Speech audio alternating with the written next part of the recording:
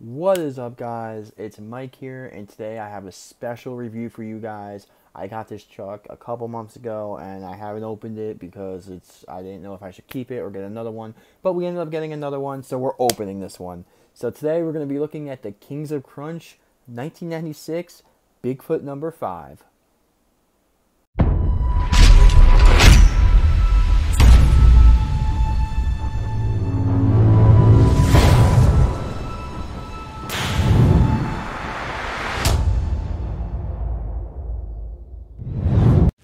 Alright, so first off, I just want to say that this truck is amazing. So this is the only Kings of Crunch truck I have. I wasn't even going going to think about getting these trucks or anything like that, but the nostalgia with these trucks is insane. So Bigfoot number five, um, a lot of you guys, if you don't know, it's the Bigfoot that had these huge, huge tires on it.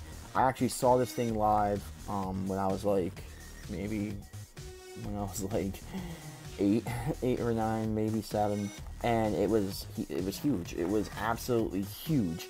And Bigfoot, as you guys do know, is my all-time favorite monster truck from growing up watching it at Wall Stadium and Raceway Park and you know Englishtown and all that and Wildwood. Bigfoot, Snakebite, Grave Digger, those were my three favorites, no matter what. And I really wish Spin Master, since they're making all these trucks, I wish they would make this body type because there's so many custom trucks I want to make with this 1996 body type, and sadly, Kings of Crunch they're hard to find. I actually never, ever, ever saw these in a store. I actually don't even know where to get these. I know Walmart and Target don't carry it, but I think like Tractor Supply, uh, Bass Pro Shops, it's like weird stores like that. Like something you wouldn't expect, and they have them. But yeah, so Kings of Crunch, I ended up getting this in an unboxing video um, from the Toy Mafia, West Coast Toy Mafia. Good guy. If you guys ever need trucks, you, you know he'll send them to you, and you know you might have to pay a little bit, but they're always in good condition, and I highly recommend going there if you go the eBay route. But yeah, Kings of Crunch. So I have no other trucks here on this set, but um, I might get Bigfoot one if I can find it. USA, I remember that truck. You know, Earthquake, Above and Beyond. All these trucks I remember. Uh, I was very, really, very, really um, small, but you know, monster truck VHS tapes and stuff like that always had these trucks on there. So the thing with this package is I actually need scissors to open it because it's such a pain. But yeah, we're gonna open this and we're gonna take a closer look at this thing, and I'm I'm really excited because this thing is really cool looking. So let me go grab some scissors and we'll pop this thing open. Alright, so having opened this truck, um, these packages are really hard to open and they're like the old classic 90s NASCAR packages and stuff like that. So like, yeah, it's, it's quite the fun. But yeah, this thing actually looks pretty cool. It's pretty heavy. Um, I would compare it to, if you guys know, like Ice Cream Man, or actually, you know what, um, Higher Education, the weight of that. So let's take this thing out and actually get a good look at this truck here. Wow, that's pretty cool, dude. That is pretty awesome. Let's move the camera in. Uh, let's take a look at this thing. So, Kings of Crunch, Green Light. I think that's the name, right? Green Light? Kings of Crunch, whatever you guys want to call it.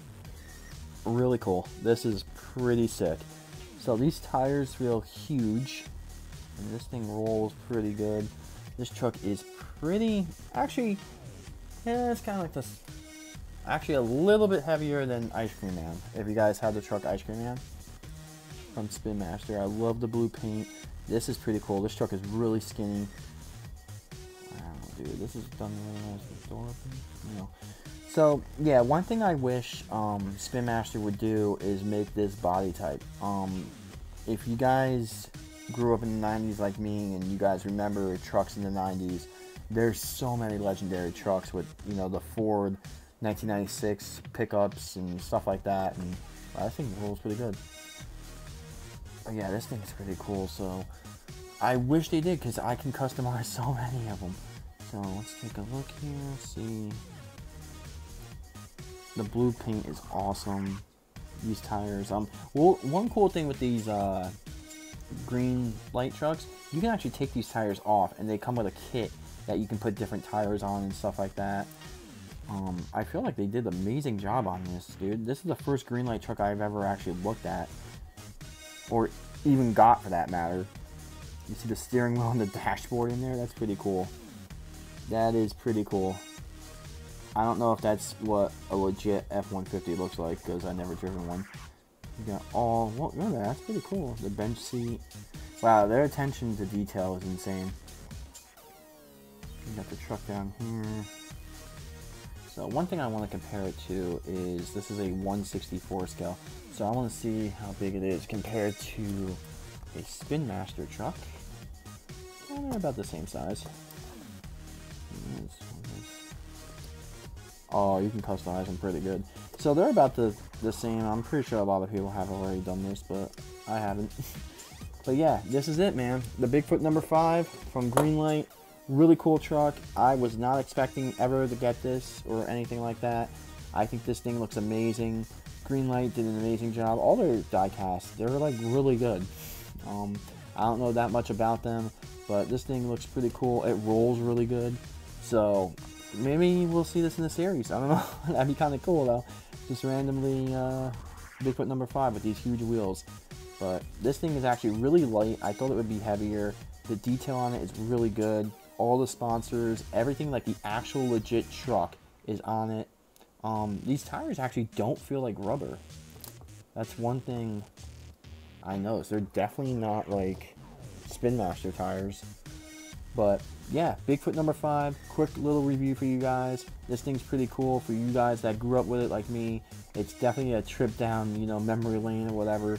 But um, really cool truck.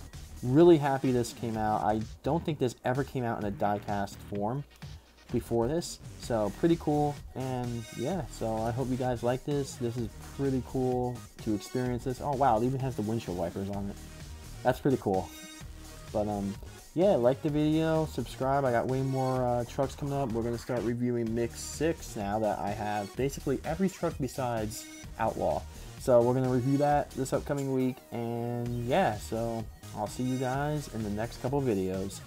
Wow, this thing is pretty cool, dude. That's awesome.